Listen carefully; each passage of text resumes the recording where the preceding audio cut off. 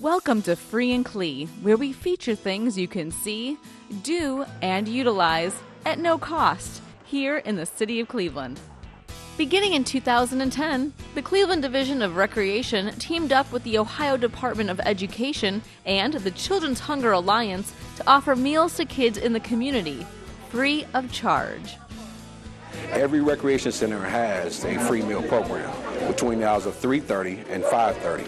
So these kids, when they get out of school, they can come and play basketball, play any kind of sports that we have, and know that they have a meal that they can participate in at the rec center.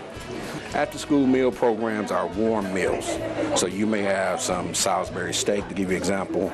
You may have mashed potatoes, you have vegetables, you have milk, bread. So those are the type of components that you have in after school meal program.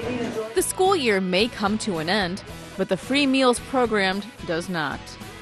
In the summertime, we have the lunch program that's offered at every recreation center from 12 to 1. And then we also have at five recreation centers, we have the breakfast program where you can come and participate at breakfast from 9.30 in the morning to 10.30. Then there's in the summertime the weekend meal program where kids can actually come to the recreation center and we will give them non-perishable food items to take home for the weekend. This program here is probably the best program that we have in the Division of Recreation. Reason being that's when kids come to recreation centers, if they're hungry, it's going to be hard to learn and play. So when you talk about vital programs in the recreation center, this is the one. For more information on this and other programs, contact your local recreation center or call 216 664 2561.